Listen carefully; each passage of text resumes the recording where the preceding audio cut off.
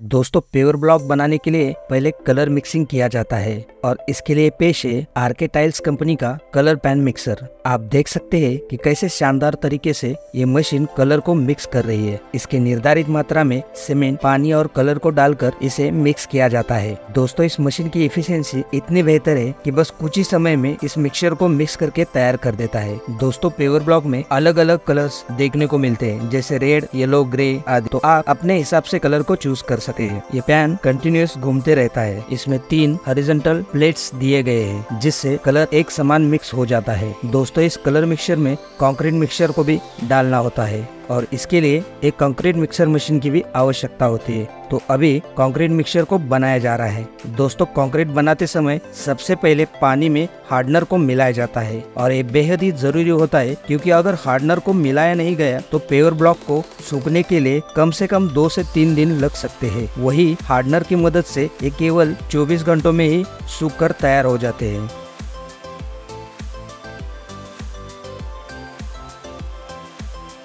अब इस बनाए गए मिक्सचर को मशीन में डाल दिया जाता है।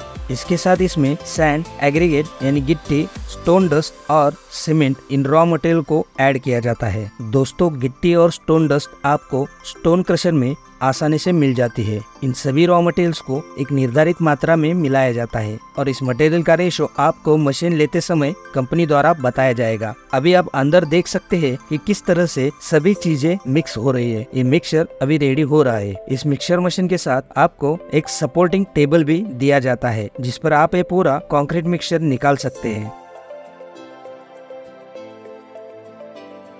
अब साइड में दिए गए हैंडल की मदद से कंक्रीट मिक्सचर को बाहर निकाला जा रहा है। अब ब्लॉक बनाने के लिए कलर मिक्सचर और कंक्रीट मिक्सचर दोनों भी रेडी है। अब बारी आती है फिलिंग की तो इसके लिए आपको कंपनी द्वारा मोल्ड दिए जाते हैं, जो कि प्लास्टिक या फिर सिलिकॉन या फिर रबर के होते हैं। आप अपने हिसाब से ले सकते हैं। अब इन मोल्ड यानी साचे में पहले कलर को डाला जाता है। आप अभी देख सकते हैं, कलर डालने के बाद मोल्ड को इस टेबल पर रखा जाता है। दोस्तों, ये एक वाइब्रेटिंग टेबल है, जिसकी मदद से टेबल पर रखे मोल्ड आगे मूव हो जाते हैं। अब एक एक करके मोल्ड में कलर डाला जा रहा है और मोल्ड धीरे धीरे आगे बढ़ रहे हैं। कलर को मोल्ड में डालने की क्वांटिटी फिक्स होती है। आप इसे कम ज़्यादा नहीं कर सकते। ये सभी मोल्ड आगे जाने के बाद जो कॉन्क्रीट मिक्सचर निकाला गया है, उसे एक एक करके कलर डाले गए मोल्ड में डाला जाएगा। अब मोल्ड में मिक्सचर को डाला जा रहा है। दोस्तों, ये भी एक वाइब्रेशन टेबल है, जहाँ से मोल्ड भरने के बाद अपने आप आगे जाएँगे। दोस्तों, इस वाइब्रेशन टेबल की मदद से भरे हुए मोल्ड अपने आप प्लेन हो ही जाते हैं, लेकिन फिर भी फाइनल टच के लिए इसे मैन्युअली प्लेन किया जाता है, ताकि इस मोल्ड का सरफेस प्लेन हो जाए।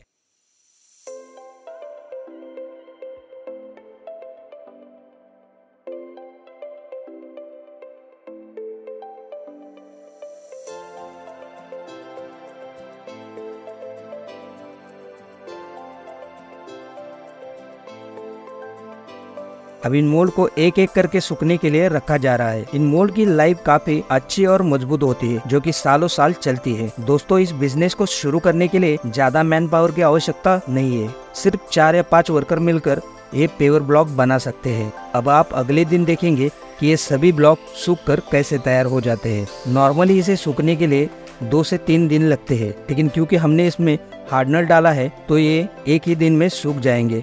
और इससे ब्लॉक में शाइन भी आ जाएगी। अब आप देख पा रहे होंगे कि ये ब्लॉक सूख कर एकदम तैयार है। चलिए अब इसका मोल्ड निकालते हैं। ये देखिए कैसे इसका मोल्ड निकालना है। इसे बस थोड़ा सा ठोकेंगे तो मोल्ड अपने आप निकल जाएगा। मोल्ड प्लास्टिक का होने से आसानी से निकल जाता है और ब्लॉक की फिनिशिंग भी आप देख सकते हैं। और जबकि इसमें हार्डनर डाला है तो इसकी शाइन भी काफ़ी अच्छी होती है। ये मोल्ड निकाला बेहद ही आसान है और ये प्लास्टिक का है तो आसानी से टूटते भी नहीं।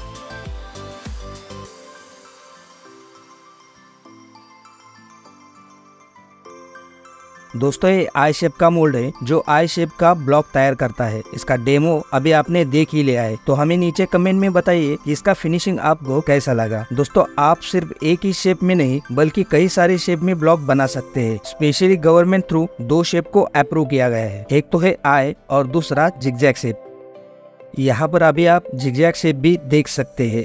दोस्तों, इन दोनों शेप में मोल्ड के अलावा कोई भी फ़र्क नहीं होता, बल्कि जो क्वालिटी आई शेप में मिलती है वही क्वालिटी आप इस जिगजैग शेप में भी देख सकते हैं। दोस्तों, इस ब्लॉक को आपको अलग से पेंट करने की कोई आवश्यकता नहीं है और कई सालों तक इसका कलर भी मेंटेन रहेगा।